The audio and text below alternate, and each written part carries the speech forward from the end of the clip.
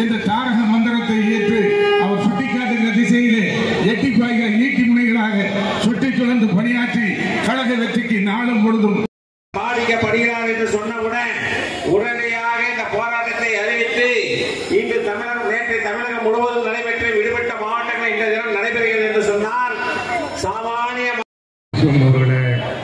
மாவட்ட கழகத்தினுடைய அவைத்தலைவர் சகோதரர் மலைக்கோட்டை ஐயப்பன் அவர்களே கார்த்திகேயன் அவர்களே அனைத்து பேர்களையும் கூறியதாக கருதி நேற்றைய தினம் தமிழகம் முழுவதும் என்னாச்சு?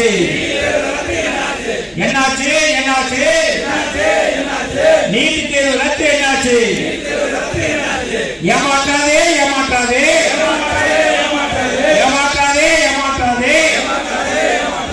தமிழ்நாட்டு மாணவர்களை ஏமாற்றாதே தமிழ்நாட்டு மகளிருக்கான உரிமை தொகை ரூபாய் ஆயிரம் என்னாச்சு ரூபாய் ஆயிரம் என்னாச்சு?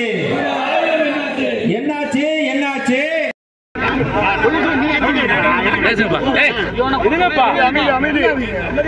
அந்த பக்கம் இருக்க மைக்க பூரா லைட்டா டவுன் பண்ணா சூப்பரா இருக்கும். ஃப்ரேம் நல்லா இருக்கும்.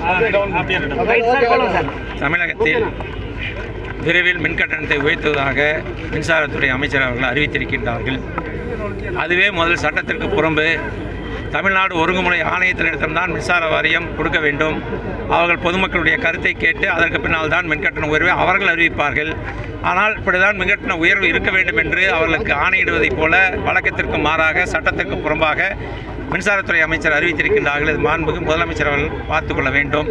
அதற்கு அடுத்ததாக இப்பொழுது மின்சார வாரியத்தினுடைய கடன் அதிகமாகிவிட்டது. அதனால் நாங்கள் உயர்த்துகிறோம். மத்திய அரசு இருபத்தெட்டு முறை கடிதம் எழுதியது. அதனால் நாங்கள் ஏற்றுகிறோம் என்று சொல்கிறார்கள்.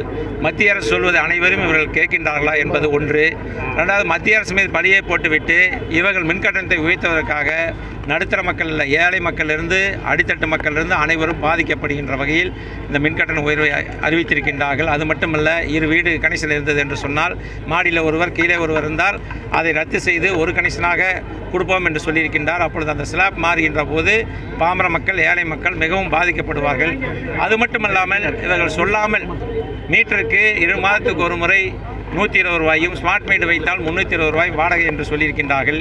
இதெல்லாம் மக்களுக்கு தெரியாமல் அவர்கள் ஏற்றுவதற்கு வெளியே செய்து கொடுக்கின்றார்கள் வாக்களித்த மக்களை எப்படி ஏமாற்றிக் கொண்டு இருக்கின்றார் என்பதை பொதுமக்கள் சிந்திக்க வேண்டும். இதன் வாயிலாக இந்த ஆர்ப்பாட்டத்தின் வாயிலாக நேற்று தினமும் இன்றைய தினமும் தமிழகம் முழுவதும் அலைக்கடல் என திறந்து வந்திருக்கின்றார். இதை பார்த்து இதற்கு பின்னால் தான் மின்கட்டண உயர்வை வாபஸ் பெற வேண்டும் என்று நாங்கள் கேட்டுக்கொள்கிறோம். அது மட்டுமல்ல அம்மா அவர்கள் கொண்டு வந்த அத்துணை திட்டங்களையும் நிறுத்துவதற்கு இந்த அரசு முயற்சி செய்து கொண்டிருக்கின்றது. அதில் முக்கியமான திட்டமாக இலவச வேஷ்டி சேலை திட்டம். நான் நேற்றே நான் சொல்லியிருந்தேன் இலவச வேஷ்டி சேலை திட்டத்தை இப்பொழுது நிறுத்துவதாக ஒரு முயற்சி நடந்து கொண்டிருக்கிறது. அதற்கு காரணம் அவர்கள் பிரிண்டட் சேலை கொடுக்கலாம் இல்லை என்றால் அந்த பெனிஃபிஷரிஸுக்கு பயனாளிகளுக்கு பணத்தை கொடுத்து விடலாம் என்று சொல்லிக் கொண்டிருப்பதாக எங்களுக்கு தகவல் வருகின்றது.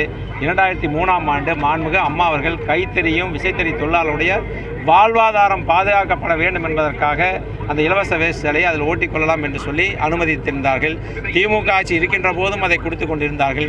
இப்பொழுது அதை நிறுத்திவிட்டு லட்சக்கணக்கான தொழிலாளருடைய வேலை வாய்ப்பை பறிக்கின்ற வகையில் இந்த அரசு செயல்பட்டு கொண்டிருக்கின்றது. இவர்களுக்கெல்லாம் யாரெல்லாம் வாக்களித்தார்களோ அவர்களெல்லாம் பழிவாங்குகின்ற வகையில் அவர்களெல்லாம் பாதிக்கப்படுகின்ற வகையில் இந்த ஆட்சி நடைபெற்று கொண்டிருக்கின்றது. ஆக மக்கள் இப்பொழுது எப்பொழுது தேர்தல் வரும் என்று பார்த்து கொண்டிருக்கின்றார்கள். தேர்தல் வந்தது என்று சொன்னால் அண்ணன் எடப்பாடியாரை மீண்டும் முதலமைச்சர் ஆக்குவதற்கும் அதற்கு முன்பாக வர இருக்கின்ற நாடாளுமன்ற தேர்தலில் நாற்பது நாடாளுமன்ற தொகுதியில் நிச்சயமாக வெற்றி பெறுவோம். ஏனென்றால் மக்கள் அந்த அளவிற்கு இந்த அரசு மீது கோபமாக இருக்கின்றார் அதிமுக தலைமை அலுவலகத்துல பணம் அதாவது கோப்புகள் பொருட்களை தாண்டி வந்துட்டு பணம் காணா போனதா தற்போது வந்து புகார் எழுந்திருக்கு. புகார் ஊர்- கொடுத்திருக்காங்க திரு சி வி சண்முகம் அவர்கள். பணம் கூட வந்து பொருட்களை எடுத்துட்டு போயிட்டாங்கன்ற மாதிரி ஒரு விஷயத்தை எப்படி நான் உள் இங்கே ஊரில் இருக்கிறேன். அந்த அலுவலகம் திறக்கும்போது நாங்கள் இல்லை. அவர் கொடுத்த நானும் பத்திரிகையில் தான் பார்த்தேன். அதனால் எனக்கு அது முழுவதும் தெரியல. அவங்க தெரியாமல் உங்களோட பயணித்தவர் இல்லை பணத்தை காணான்னு இல்லை கொடுக்க இல்லைங்க என்பது எப்படி நம்ம பார்த்து அங்கே என்ன காணாமல் அதுதானே கொடுத்துருப்பாங்க. இப்போ நான் இல்லை நான் இங்கே இருக்கிறேன். பட் அவர் போய் அவர் வக்கீலாக இருக்கிறாரு ஒரு எம்பி இருக்கிறாரு பொய் புகார் கொடுக்க மாட்டார்ல. அங்கே இல்லாத நான் கொடுத்துருக்காரு நிச்சயமாக அது மாதிரி நடந்திருக்கும். அதனால தான் புகார் கொடுத்துருக்குறாங்க ஆனா மத்திய அரசு வந்து ஓபிஎஸ் அவருக்கு ஆதரவா செயல்படுது. அதனால தான் சார் நீங்கள் யோகத்தின் பேரில் கேட்குறீங்க மத்திய அரசுங்க என்பது அது பாரதிய ஜனதா கட்சி எங்களது அனைத்து இந்திய அண்ணா திராவிட முன்னேற்ற கழகம். எங்கள் கட்சிக்கு ஒரு தலைவர் இருக்கிறார். ஆக எங்கள் கொள்கை வேறு. கூட்டணி என்பது வேறு கொள்கை என்பது வேறு. அது மாதிரி இல்லை யாருமே அது மாதிரி இல்லை. நீங்கள் பத்திரிக்கையாளர் தான் சொல்கிறீங்க அவர் சந்திக்க கேட்டார். அவர் கொடுக்கலன்னு சொல்லி நீங்கள் தான் எழுதுறீங்க. யாரும் அப்படிலாம் ஒன்றும் இல்லை. உதய் மின் திட்டத்தை இந்தியாவில் இருக்கின்ற அனைத்து மாநிலங்களுமே கையெழுத்திட்டதுக்கு பின்னால் மாண்புமிகு அம்மாவர்களும் ஒரு கோரிக்கை வைத்தார்கள் என்ன கோரிக்கை என்றால் இரண்டு கோரிக்கை. ஒன்று மூன்று மாதத்துக்கு ஒரு முறை மின்கட்டணத்தை மாற்றி அமைக்க வேண்டும் என்று அந்த உதவி திட்டத்தில் இருந்தது. அதே போல் விவசாயிகளுக்கு மீட்டர் வைக்க வேண்டும் என்று அந்த இரண்டு கோரிக்கையும் நீங்கள் எடுத்தால்தான் நாங்கள் கையெழுத்து போடுவோம் என்று சொல்லி அம்மாவுடைய கோரிக்கையை ஏற்று இந்தியா முழுவதுமே அந்த மூன்று மாதத்துக்கு ஒரு முறை மின்கட்டண முறையை ரத்து செய்து விவசாயிகளுக்கு மீட்டர் வைக்க ரத்து செய்தது மாண்புமிகு அம்மா அவர்கள். ஆக உதய திட்டத்தில் கையெழுத்திட்டதன் வாயிலாக நாம் மா மாநில அரசு இருபத்தி ரெண்டாயிரத்தி எட்நூற்றி பதினஞ்சு கோடி ரூபாய் அவர் கடனை ஏற்றுக்கொண்டார்கள் அதற்கு பின்னால் புதிய திட்டம் எவ்வளோ திட்டங்களை நாங்கள் செய்திருக்கின்றோம்? கடந்த காலத்தில் இரண்டாயிரத்தி ஆறு இரண்டாயிரத்தி பதினொன்றில் பார்ப்போம் என்றால் பதினெட்டு மணி நேரம் மின்வெட்டு. ஆனால் இருந்த கடன் ரெண்டாயிரத்தி ஆறில் ஒன்பதாயிரம் கோடி அவர்கள் ஆட்சி விட்டு செல்கின்ற போது நாற்பத்தி மூணாயிரம் கோடி. ஒரு யூனிட் மெகாவாட் மின்சாரம் கூட தயார் பண்ணாமல் முப்பத்தி ஏழாயிரம் கோடி கடன் செய்து விட்டிருக்கின்றார்கள். இன்றைக்கி அமைச்சர் அவர்கள் ஏதோ பத்திரிகை இருக்குது டிவி இருக்குது ஆளுங்கட்சி என்ற காரணத்தினால் அவர் சொல்லிக் கொண்டிருக்கின்றார் இதெல்லாம் நான் பலமுறை கேட்டுவிட்டேன். அதுக்கு என்ன பதில்? அப்பொழுது அவர் அண்ணாதிமுக இருந்தார். அதனால் அவருக்கு தெரியும். இதில் அவரே போராட்டம் நடத்தியிருக்கின்றார். கரூரிலே அவரே இந்த மின்வெட்டை எதிர்த்து போராட்டம் நடத்தியிருக்கின்றார். இன்று ஆட்சி மா- அவர் அந்த பக்கம் கட்சி மாறி சென்று விட்ட காரணத்தினால் அம்மா மேல் குறை சொல்ல வேண்டும் அம்மா அண்ணன் மேல் குறை சொல்ல வேண்டும் என்று நடத்தி கொண்டிருக்கின்றார். இது பொதுமக்கள் பார்த்து கொண்டிருக்கின்றார்கள். விரைந்து நான் சொல்லுகின்ற நாடாளுமன்ற தேர்தலை பாருங்கள்.